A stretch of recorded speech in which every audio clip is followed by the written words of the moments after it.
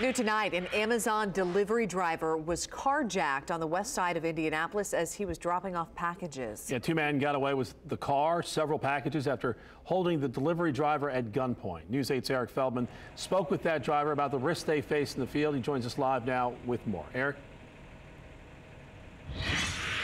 Mike and Brooke, the driver tells me that he does his best to get all of his delivery drop-offs done before it gets too dark, especially now, the days after Cyber Monday, where there are tons of packages being delivered. And he says that as it gets darker, he feels it's a little more dangerous out there, and he unfortunately learned firsthand just yesterday. The holiday season means busy days for Sergio Palacio as he delivers cars filled with packages from Amazon.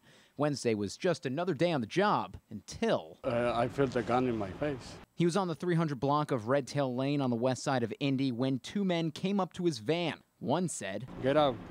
And the other guy pulled me out for the left arm and then what the uh, the guy with the gun hit me in the head. He says he can only hear 20% out of his right ear now. The carjackers took his van and the packages inside. Sergio thinks the two men targeted him for a specific reason. They asked me first, uh, one of the guys, if I delivered it. And they said, yes, I delivered it. What company? Amazon? Police haven't been able to find those packages. Sergio says the thieves only got seven, and that's lucky. These days, 230, 240 packages, 170 and 60 stops. Amazon, in a press release, called Cyber Monday the single biggest shopping day in the company's history. Data trackers say people spent $58 billion online from Thanksgiving through Cyber Monday. And that's why Sergio and his family say they're shaken by the carjacking on Wednesday. You're having a whole bunch of expensive stuff in your van, like, and you're going to neighborhoods that sometimes aren't really completely safe, especially at nighttime. And right now it's getting darker really quickly. For 17 year old Sergio Jr., he's just happy dad is home. I just gave him a hug, told him I love him, and you know, I'm glad he's still.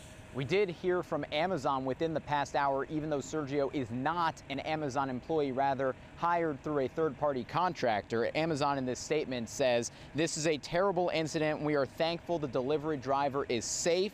Amazon is working with law enforcement and the delivery service partners as they investigate. And if we do hear anything else in this investigation, we'll be sure to let you know. For now, I'm live downtown. Eric Feldman, Wish TV News 8.